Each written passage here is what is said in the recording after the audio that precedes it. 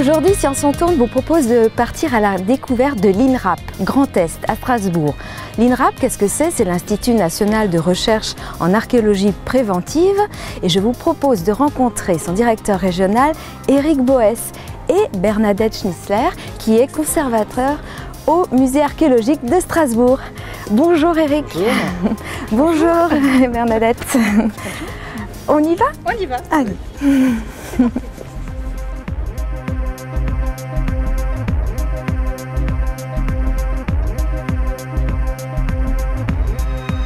L'archéologie, euh, c'est déjà euh, découvrir dans le sol beaucoup d'objets de périodes différentes. Et vous, le verrez dans le parcours du musée, hein, avec une richesse d'objets, de, faits de façon différente, avec des, matériaux différents, et qui caractérisent en fait toutes les périodes de, ce passé très ancien qu'on va retrouver dans le sol.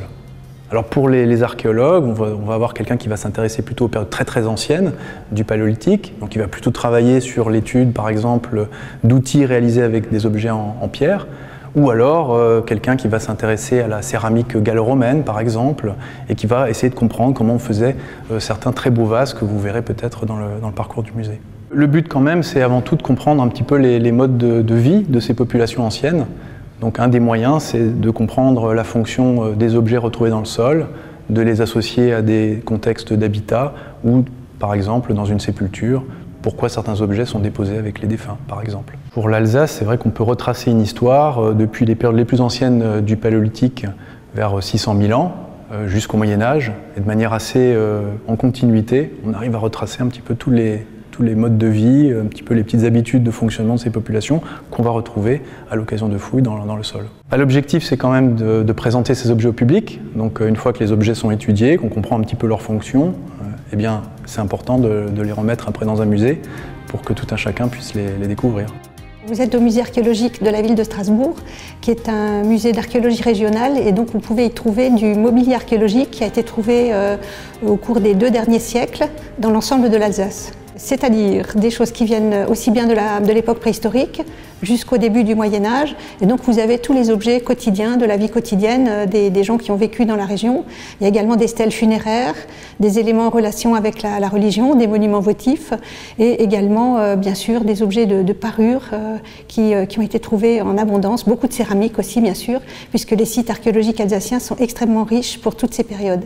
Avec l'INRAP, ce sont euh, tout à la fois des relations amicales et des relations de travail, euh, puisque les archéologues sont sur le terrain et que le musée est donc la dernière étape du processus, et donc que j'accueille les objets au musée lorsque l'étude en est terminée, après le chantier de fouille. Depuis 1855, le, musée collecte euh, des objets et donc nous en avons évidemment plusieurs centaines de milliers qui se sont accumulés euh, dans les collections depuis cette époque. En route pour 4000 ans de période néolithique. Oh, mais regardez ce bel alignement de mégalithes. Serait-ce un observatoire astronomique? Il semblerait que notre homme néolithique tente de comprendre le monde qui l'entoure.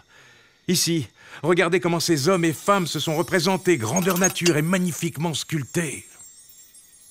Et là, un squelette, avec sa précieuse hache 100% jadéite, une belle roche des Alpes qu'on retrouve aux quatre coins de l'Europe. Sans doute un homme très important. Et notez bien, enterré sous un grand tumulus. Hop, attention là, un large fossé, euh, une sorte de grande poubelle, oui. Nos experts y découvrent vraiment de tout.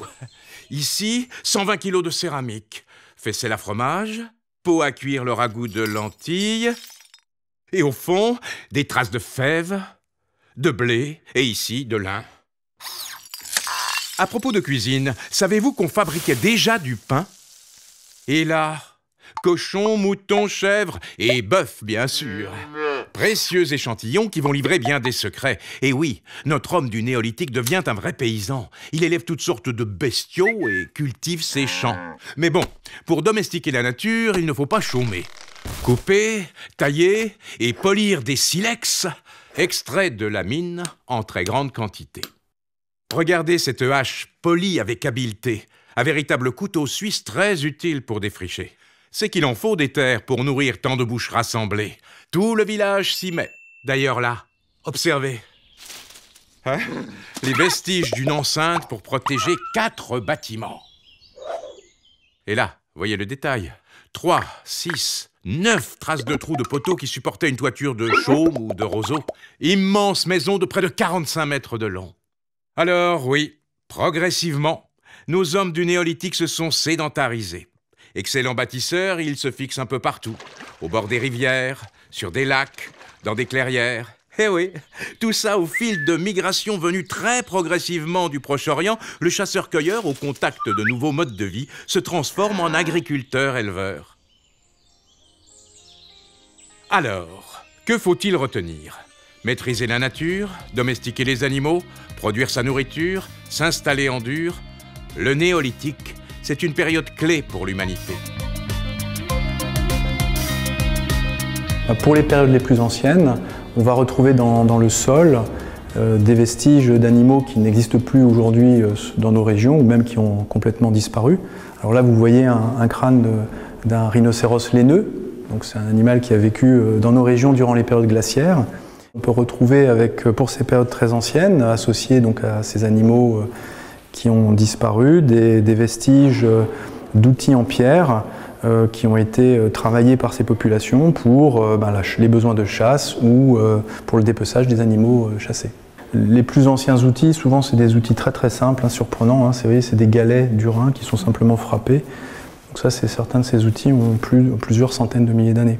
Donc là, c'est vraiment les premiers, les premiers habitants qui ne sont pas de notre espèce, hein, c'est des Homo erectus. Parmi les, découvertes un peu particulières, on peut être confronté à des, mm, sur des ossements à des interventions de type euh, chirurgical qui surprennent euh, quand on voit l'impact que ça peut avoir. Alors là, vous voyez un crâne avec une, ouverture en fait qui a été faite euh, sur la voûte du crâne. C'est un crâne qui a été daté de la période du néolithique moyen. Et cette ouverture, elle a été faite à l'aide de, silex. Ce qui est surprenant, mais c'est aussi une bonne nouvelle, la personne, à l'époque où elle a eu cette, cette intervention, elle a tout à fait survécu. Donc ça nous rappelle un peu que même pour des périodes très anciennes, on savait déjà faire des, choses assez surprenantes et avec euh, des, risques de décès quand même, vu l'impact que ça peut avoir sur la tête et bien sûr le, cerveau. La confection des vases, elle est propre à chaque période chronologique. Donc euh, les décors, la forme est vraiment spécifique à une période donnée. Pour les, sépultures, on peut trouver euh, différents objets qui sont déposés avec le défunt dans la tombe. Et là, notamment, dans cette sépulture, des, pièces en, grès qui correspondent en fait à des meules qui servaient à, moudre les, céréales. Donc ça montre un, souci de, conserver une activité dans l'au-delà. C'est des petits objets en fait faits en corail importés de Méditerranée. Donc ça montre qu'il euh, y a plusieurs euh, centaines d'années, on a déjà un commerce avec euh, des populations assez lointaines pour confectionner des objets qui étaient très prisés à l'époque.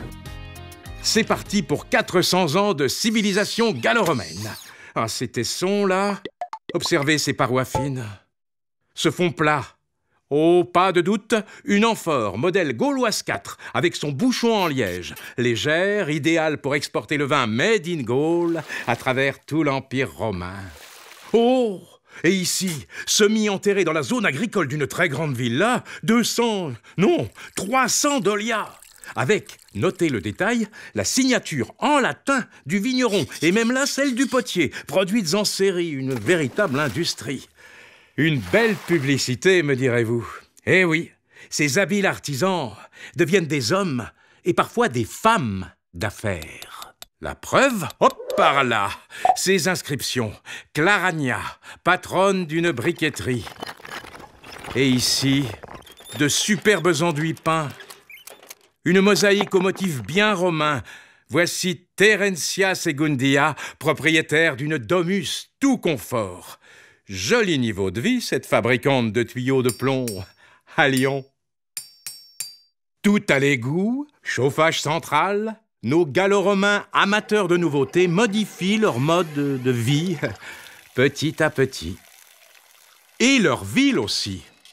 Regardez ce plan typiquement romain, ce forum avec sa place publique et ses boutiques, son tribunal, son temple dédié au culte impérial, et ses sanctuaires, tolérant vraiment toutes sortes de dieux. Voyez, la Gauloise Épona, cavalière et déesse, admettez qu'elle fait bon ménage avec Mercure, dieu romain du commerce. Et qui dit commerce dit souvent argent. Ah, justement, une monnaie. Hmm, c'est un denier 4 grammes d'argent, avec bien sûr la tête de l'empereur. Et nos gallo-romains, à chaque emplette, de la faire circuler à travers tout l'Empire.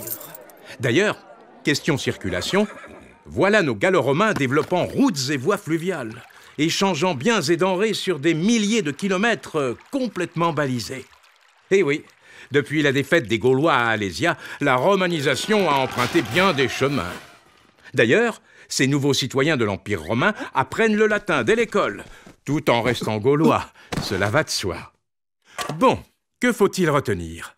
La civilisation gallo-romaine, comme son nom l'indique, est la rencontre entre deux cultures, une période d'innovation et de prospérité.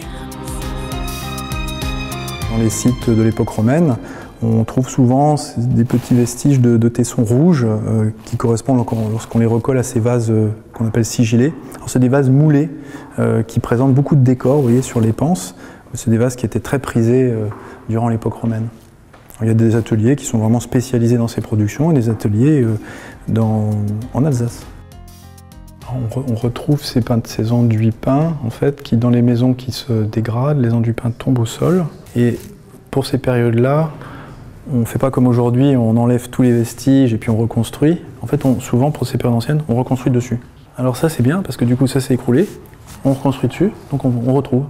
Et là, l'enduit peint, il n'est évidemment pas conservé sur un mur, il s'est effondré sur un sol, et on l'a retrouvé. Oh, il n'est pas très bien conservé, mais quand même suffisamment pour qu'on arrive à, dresser le, type de, peinture. En route pour les six premiers siècles du Moyen Âge.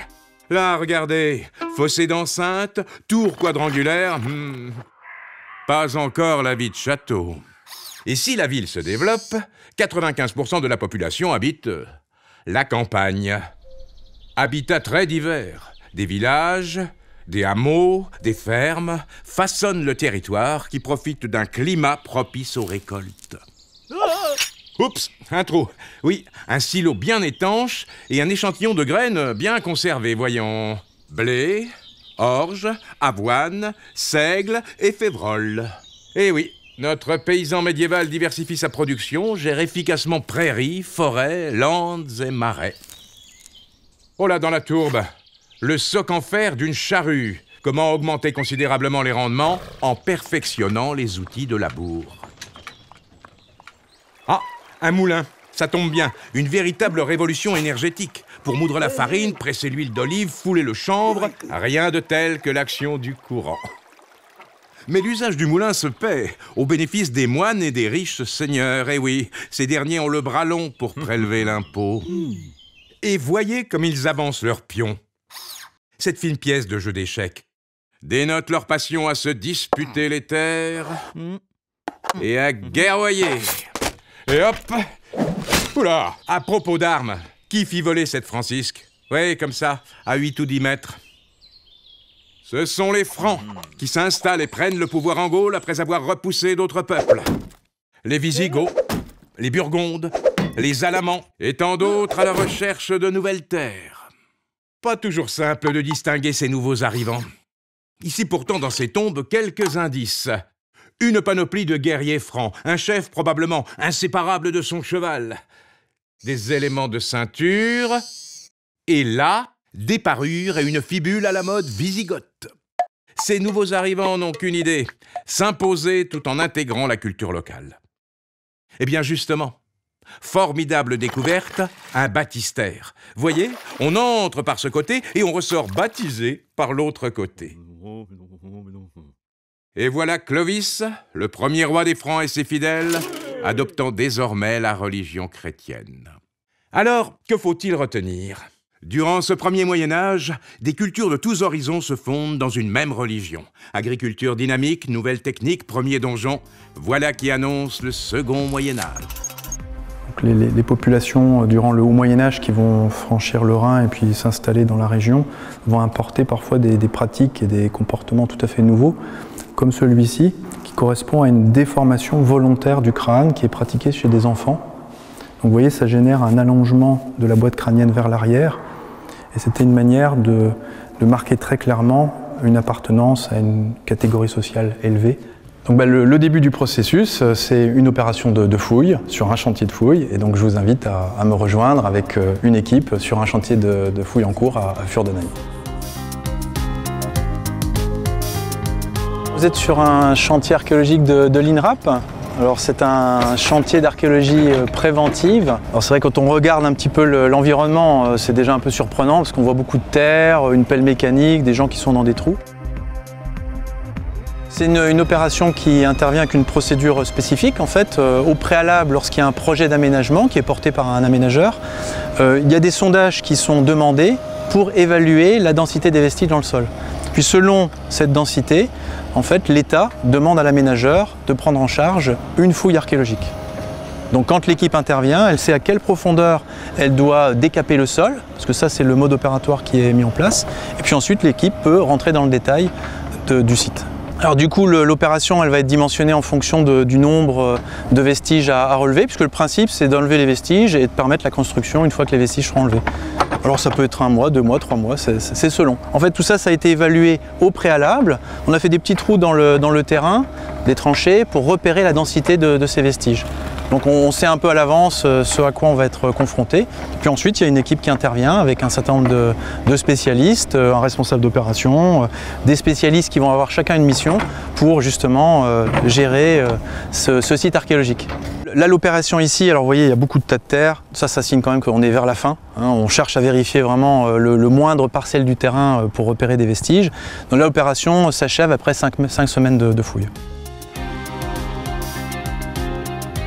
Nous sommes euh, après la phase de décapage euh, du site, c'est-à-dire qu'avec une euh, grosse pelle, nous avons enlevé la terre qui recouvrait donc les vestiges pour faire justement apparaître le niveau naturel que vous avez ici, le terrain naturel qui est de couleur jaune et qui se différencie nettement des vestiges que vous avez par exemple ici, euh, dont le comblement, le remplissage est de couleur euh, grise, euh, donc qui tranche nettement, avec le terrain naturel. Ici concrètement, vous avez en fait une fosse qui a été creusée par l'homme, vraisemblablement, vraisemblablement, par les Romains, que l'on a mis au jour, qui était à l'origine circulaire. Et afin de pouvoir comprendre la fonction de, de ce vestige, nous l'avons en fait coupé en moitié pour euh, révéler euh, sa profondeur, que vous avez donc ici, mais également euh, son profil. Donc là, on voit bien que c'est une fosse. Parfois, on a des fossés, parfois, on a des fosses qui ont servi à recevoir des poteaux. On peut avoir le négatif du poteau. Donc là, c'est simplement une fosse dont la fonction, pour l'instant, demeure encore inconnue, mais qui, euh, par exemple, pourra peut-être livrer du euh, mobilier comme de la céramique ou euh, des morceaux de, des fragments de métal qui pourront peut-être expliquer quel était son usage dans l'Antiquité. Ici, par exemple, nous avons en fait en plan une grosse tâche que nous ne comprenons pas comme ça, que nous ne pouvons pas comprendre. Donc c'est pour ça qu'en fait nous coupons la, moitié de la tâche pour connaître sa profondeur de conservation ainsi que euh, donc son profil que vous avez donc euh, ici et essayer de comprendre quelle était euh, sa fonction. Sur ce chantier d'un peu moins d'un hectare, on a découvert un peu plus de 450 structures. Je vous invite à aller voir un collègue qui est en train justement de fouiller un vestige qui est plutôt intéressant.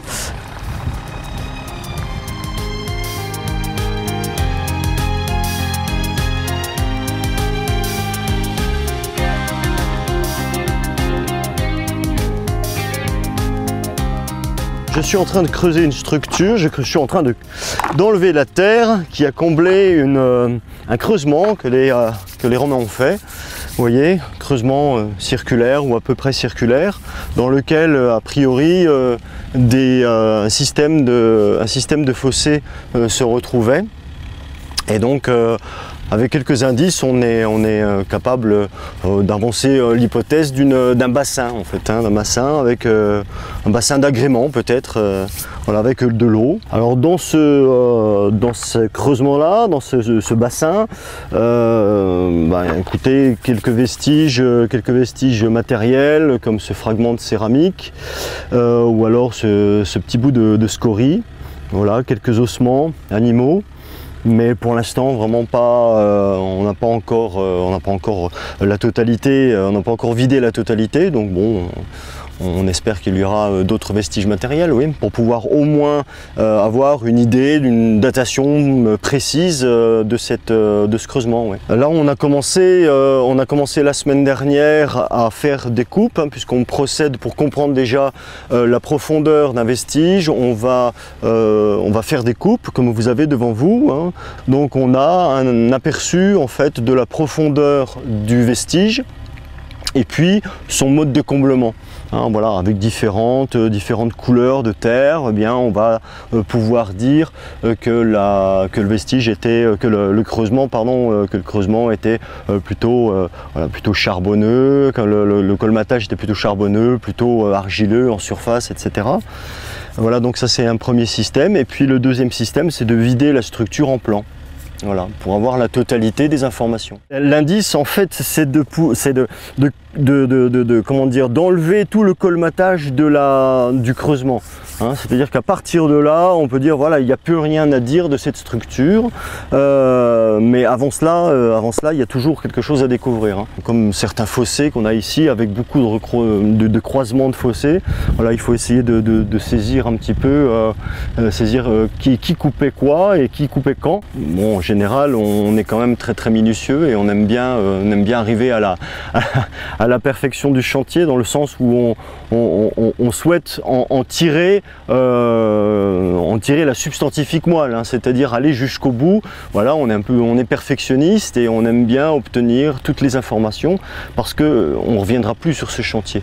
Et ça, c'est très important de le savoir, c'est-à-dire qu'on ne pourra plus avoir accès à aucune donnée. Donc, c'est bien qu'il faut euh, absolument enregistrer le maximum d'informations et d'indices. Sans cela, on aura toujours un doute, toujours une, voilà, toujours une zone d'ombre euh, euh, qu'on ne pourra pas combler avec une information. Donc c'est pour ça qu'il faut vraiment vraiment tout fouiller. Alors ces vestiges là, eh vont être vont être triés déjà par par matière. Ils ont un code dès le départ, ils ont un petit code, donc que ça soit de la céramique, une scorie ou un os, là c'est très bien qu'on puisse avoir les trois en même temps, voilà. euh, eh bien ces trois, vestiges de, matières différentes ont un code.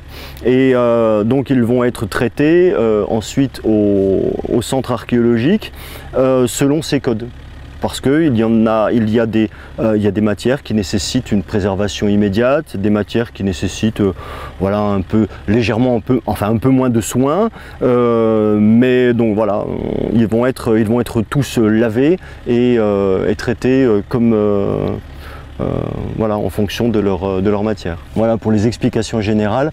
Voilà, je vous laisse. J'ai vu quelque chose là-bas, un indice, donc je vais voir ce que c'est. Un fragment de, terre cuite qu'on distingue bien sur le, fond gris là, du, comblement argileux. Donc ce sont des, fragments là, qu'on trouve régulièrement euh, sur le chantier. On a vu que le, métier d'archéologue est quand même euh, passionnant avec tous ces, objets, tous ces sujets euh, qu'on peut aborder sur des, millénaires d'histoire. Bah, écoutez, je vous, invite à venir me poser des questions et puis j'espère des questions qui vous donneront envie de découvrir davantage ce métier d'archéologue.